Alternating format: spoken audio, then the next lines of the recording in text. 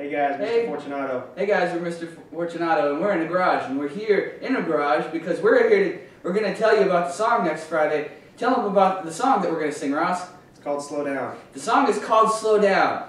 It's a good song, and you're going to enjoy the song probably. You should, uh, watch it next Friday.